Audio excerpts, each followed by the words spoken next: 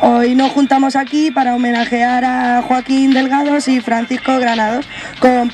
compañeros, anarquistas que lucharon, eh, compañeros anarquistas militantes de CNT, el Consejo Ibérico de Liberación y de la Juventudes Libertarias, que lucharon durante los años 60, etapa más importante de la lucha antifranquista y época también en la que muchos compañeros fueron ejecutados en manos del Estado. Eh,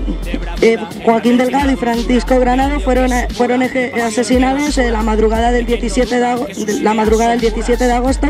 tras pasar 25 días en la antigua cárcel de Carabanchel acusados de la colocación de dos bombas.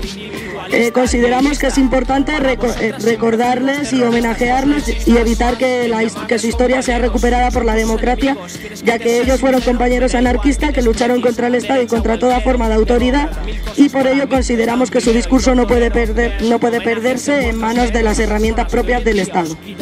Tampoco nos importa si la acusación era cierta o falsa, pues verdaderamente términos como inocente o culpable son términos creados por la legalidad burguesa para poder para poder reprimir a todos los compañeros y a todos los que ellos consideraban sus enemigos. Nosotros siempre los recordaremos como compañeros anarquistas que lucharon contra, contra el Estado, sus leyes, sus jueces, la policía y, todas las formas de opresión que estos mismos, que estos mismos legitiman. En definitiva, nosotros, nosotros consideramos que es importante recordar su discurso y continuar la lucha y pues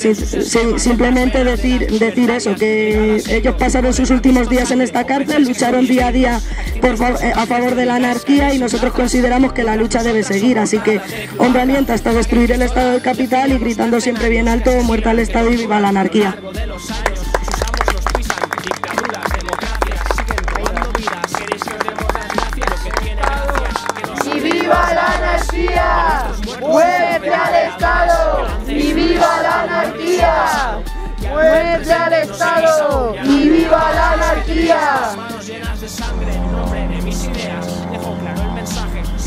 Delgado, Granados, nosotros no olvidamos. Delgado, Granados, nosotros no olvidamos. Simplemente era un poco hacer la, la reflexión que venimos haciendo desde hace tiempo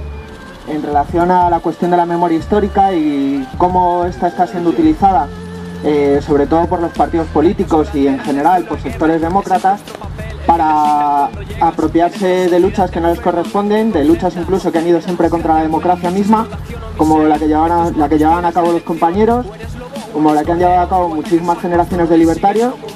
y, este tipo de homenajes son, son un poco un auténtico, un auténtico homenaje en esa línea, no solo a las personas, sino también a las ideas y, eso, ¿no? Un poco hacer, hacer hincapié en, esa idea de, cómo se están apropiando y, de cómo tenemos que defender nosotras mismas la, memoria de las compañeras y compañeros represaliados.